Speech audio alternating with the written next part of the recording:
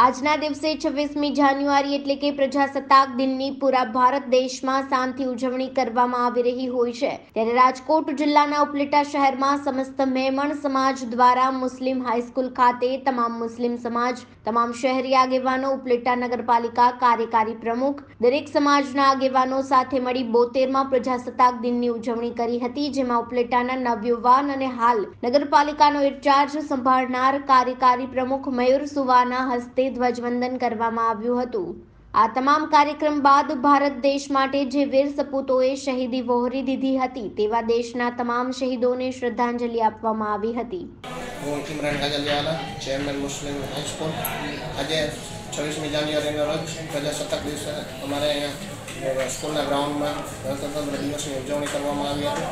તે નિમિત્તે મયુરભાઈ સુવાએ ધ્વજવંદનનો કાર્યક્રમ રાખવામાં આવેલો.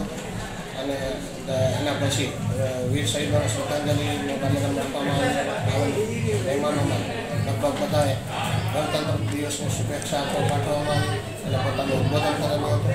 મુસ્લિમ હાઈસ્કૂલના સ્ટાફમાંથી વિજ્ઞાની સાહેબે મુસ્લિમ હાઈસ્કૂલની પ્રવૃત્તિ બાબતે બધી ડિટેલ આપેલી.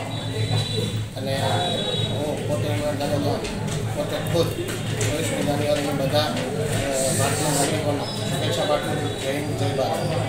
જીડીસી ન્યૂઝ સાથે વિપુલ ધામેચા ઉપલેટા